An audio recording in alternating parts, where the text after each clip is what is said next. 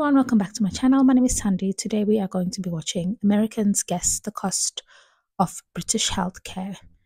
Um, I don't really know.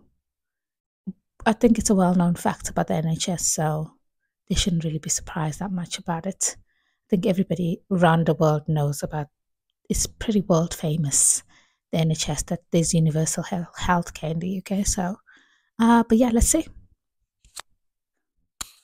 US country, it's nothing but a strip club. It's nothing but hustle. We can have all this. We should be able to have good health care.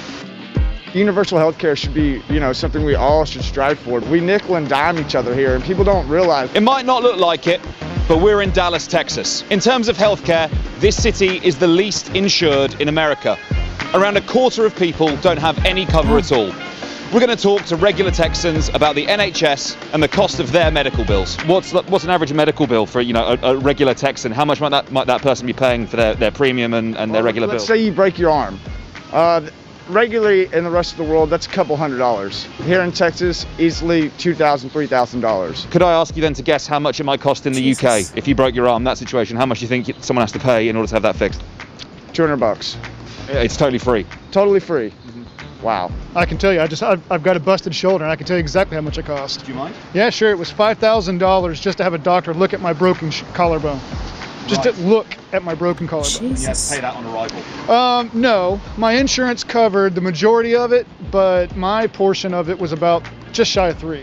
Wow. So yeah, And then So presumably what's the point of ongoing insurance then if you physiotherapy, still have things to like pay that. anyway? that part's pretty much covered by insurance, but I have really, really good insurance. Okay, So And is that through, your- through your through your job? yeah, yeah.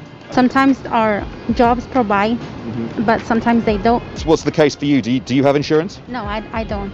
Okay. No, so, I don't. So if something happens to you, you need healthcare. We have to pay full price.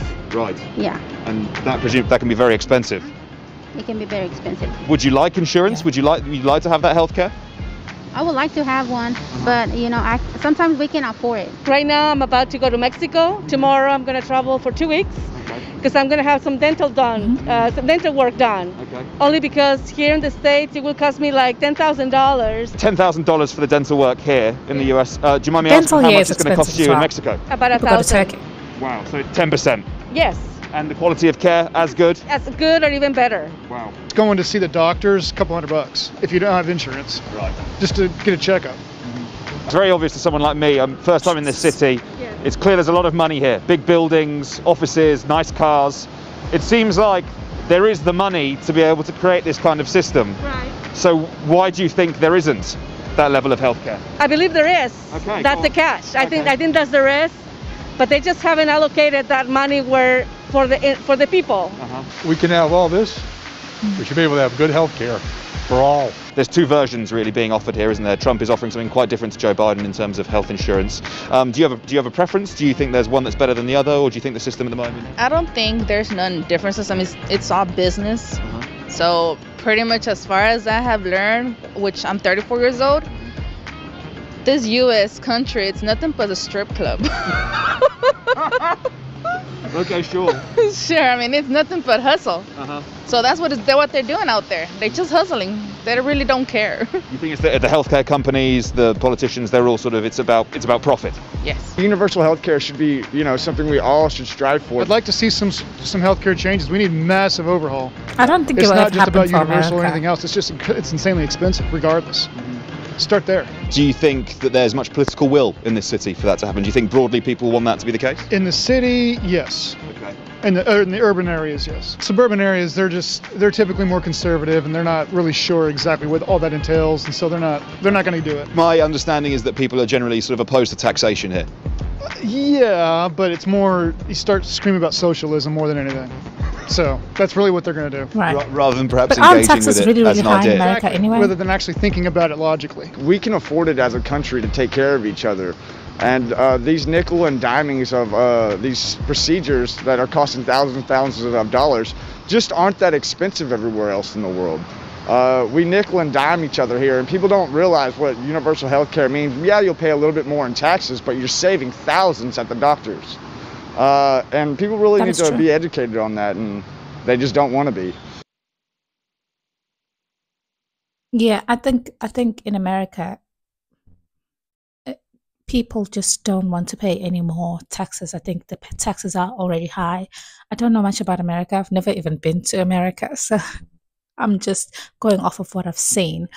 Um, here in the UK, it is really helpful to have the NHS because you don't have to pay when you get there. So if you if you something happens to you right now, you break a leg or an arm, and uh, the ambulance comes and gets you, you don't need to pay anything for that.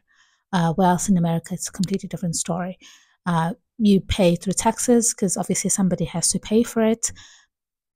I do think I don't know what happens if you don't have a job at all and you, and you can't. I think that then it has to be completely free for you. But for people that work and pay national insurance and all that stuff, then it's not free for you. You have you're paying some way, but it does help the fact that you don't have to have money to get to the hospital.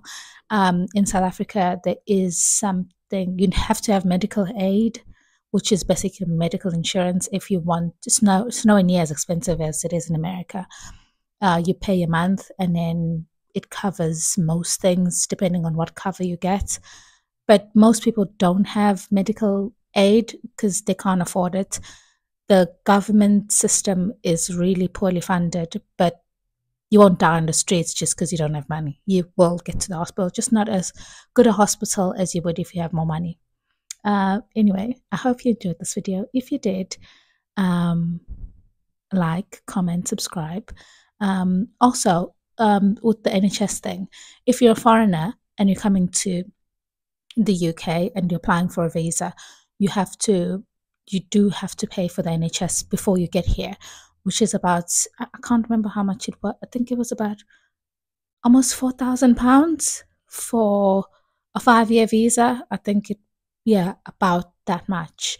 And then when you get here and you do get a get a job, you do have to pay for it again. Um, which is fine, I guess every country has its rules, so it is what it is. Um, but yeah, you do, somebody has to pay for it. It's not completely free. And yeah, that's it. Hope you enjoyed this video. If you did, like, comment, subscribe, and hope to see you in the next one. Bye.